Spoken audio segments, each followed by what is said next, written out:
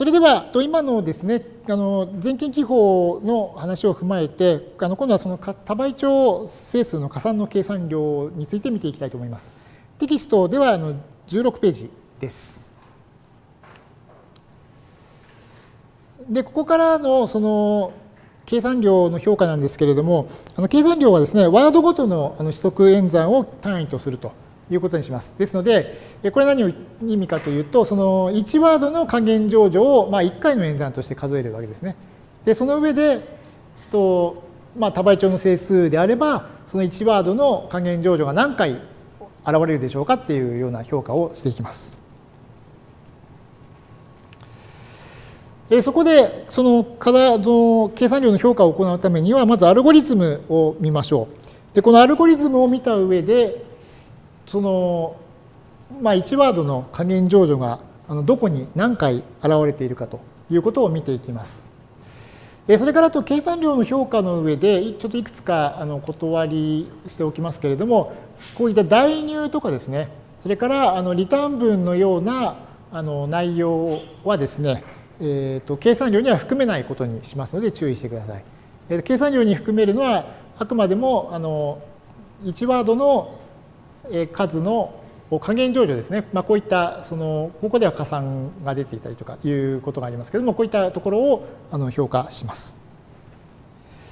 でこのアルゴリズムですけれども実際にその指則演算1ワードの数の指則演算がどこに何回現れているかというのを見ますとあの現れているのはこのステップ2のところですね。でまずとフォア文がありますけれどもこのフォア文でそのこのステップ2の部分がですね何回繰り返されているかっていうとあの i が0から k-1 まであの1ずつ増加しながら動きますので合計でここのフォア分のループはあの警戒実行されることに注意しましょう。でその上でそのそれぞれのループの回数に応じてその加算が何回現れているかとここの ai プラス bi プラスガンマ i というところでその加算が2回現れていることが分かります。ということで、とまとめますと、まずあのアルゴリズム全体で行われるその計算、ここでいう計算は指則演算ですね。あの1ワードの計算の指則演算は、まあ、加算が2形回現れるということが分かります。で、そのアルゴリズムの計算量の見積もりとしましては、先ほどの計算量の全近表記のうち、まあ、オーダーを使えばあの 2K はオーダーの K すなわちあの定数倍はあの無視できますのでオーダーの k となりますしそれからえっとまあ、θ で評価しても同じくあの θ の k で評価されることになります。ということで、まあ、例えばその今回の多倍調整数の加算の計算量はどのくらいになりますかと聞かれたら、まあ、その見積もりは、まあ、オーダーの k になります。あえっともちろん k、k が何かってことを言ってですね、えっと、k は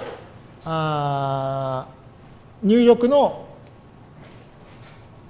あのワード数ですね。入力された数値のワード数を k としたときにその計算量の見積もりは、まあ、オーダーの k になります。もしくはシータのラージシータの k になります。というような答え方をします。ということでまずこの計算量の見積もりから分かることとしてはその多倍調整数の加算の計算量というのはこの整数の長さすなわちワード数にま比例すると。いうことがわかります。といった感じですね、そのあの計算量の評価っていうのを行う点に注意しておいてください。で、えっと、加算の計算量の見積もりは一旦ここまでにしまして、ここからはもう一つその符号付き多倍調整数について触れておきます。とここまではですね、その符号なしのあの多倍長整数を扱いまして、まあ、その加算のアルゴリズムについて論じたわけですけれども、えー、とやはりその状況によっては、その多倍長整数でも符号を込みで扱いたいなという場合があるかと思います。で、えー、その時にですね、どのようなあの扱いをするかといいますと、まあ、大体のその数の定義は、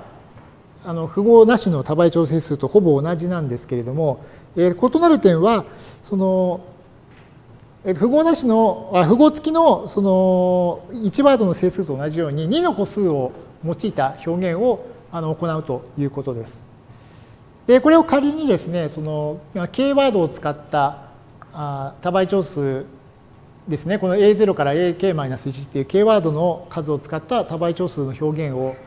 まあすることにしまして、で、そのその上でさらにその、まあ、2の歩数を用いた表現はどのようになるかというと、この一番上位の桁を表すワードですね、えー、と A の K-1 のこの最上位のビットがあの符号を表すということになります。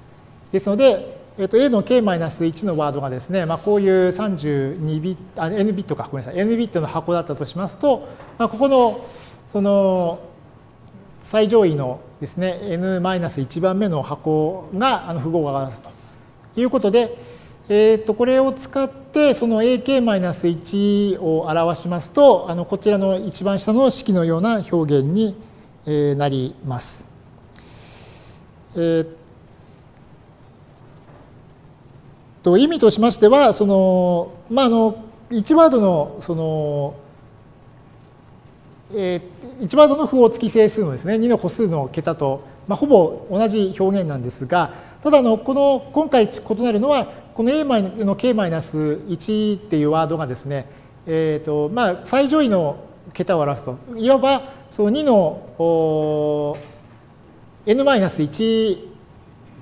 乗の桁ですかね2の N-1 乗の桁、えー、っていうのをこう表しますので、まあ、このような形に、えー、で表されます。で、えー、と以上のような形であのまずこの最上位の a の k-1 のワードの値の範囲っていうのを表しますとこれがマイナス2の n-1 乗から2の n-1 乗マイナス1ということになりましてで結果として今回あの定義ごめんなさい今回定義されましたその多倍乗数ですね v の値の範囲というのはえーと、マイナス2の nk マイナス1乗から2の nk マイナス1乗乗マイナス1までの範囲を表すことになります。えっと、ここはですね、ちょっと皆さん各自で少しあの考えてみてください。はい、ここまでよろしいでしょうか？